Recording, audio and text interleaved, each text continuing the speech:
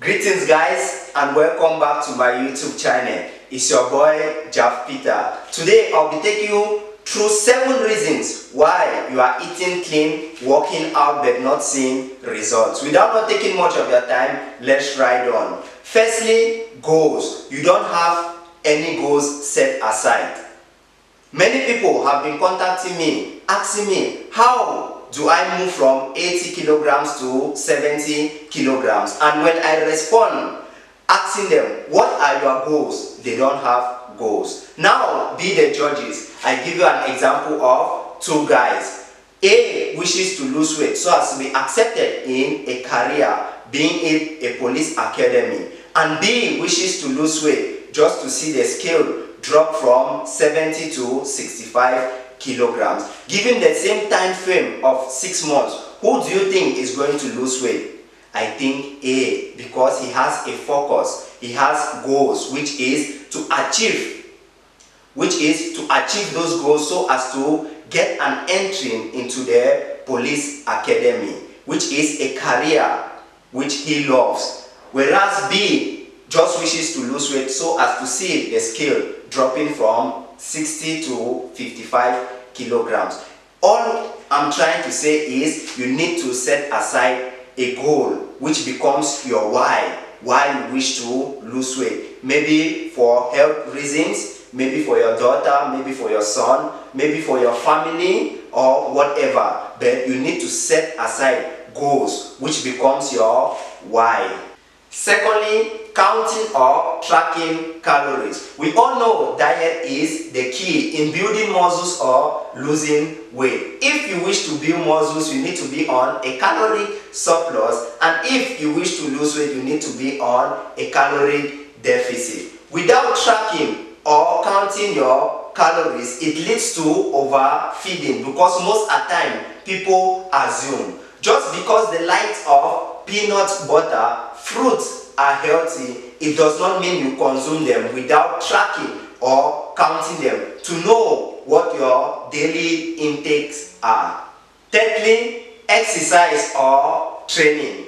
In losing weight or building muscles, you need to be training or exercising at least three to four times a week. Being it resistant training, which involves weight or high intensity interval training which you select six exercises to perform them given in a given period of time having short rest or low intensity steady state exercise which is normally walking whichever is comfortable for you you need to be performing it three to four times a week. Furthermore consistency while being patient just because you've been eating clean and working out three to four times in a week, you expect to see result in maybe a month or two. No, it is not done like that. I ask you a question. Is it the same one month or two months you took to accumulate that fat? No, I doubt it. So you need to be patient in your pursuit for your goals. Now, you need to perform progressive overload in this stage because you don't want your body to be at the same level. You need to constantly shocking your body. For example, if you were doing 30 push-ups a day for the month of June, now for the month of July, you need to be doing 35 to 40 push-ups a day for that month. If you were walking let's say 5,000 steps a day for the month of June. Now, for the month of July, you need to take it to 5,500 or 6,000 steps a day so as to shock your body, so as to constantly be working out while being patient to see results in the future. In addition, sleep this is the most important part of all. You need to be sleeping for 7 to 8 hours a night. Are you getting enough sleep? I doubt it.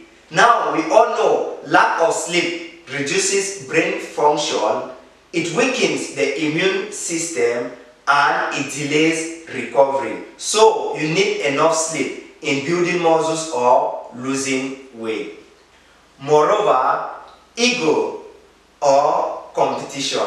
You need to know your level of fitness and move on your lane. You don't have to compete with anyone. Have that notion of slowly but surely.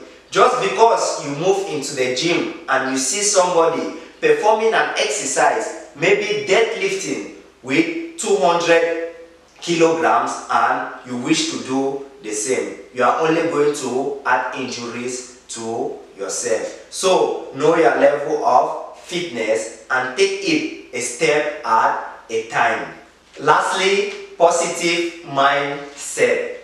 Remember, there will always be naysayers. There will always be people with negative mindset. Just because you know someone who has tried, failed, and given up, advising you or telling you it is not possible, that is their cup of coffee. You just have to believe and trust the process. Knowing everything is possible through Christ that strengthens us. As his Father, our Lord Almighty, said it, go in peace to the world and face the difficulties of life with faith, hope, and confidence. Okay guys, we've come to the end of this video. If you found it interesting, please like, share, and subscribe. Until then, see you in my next video.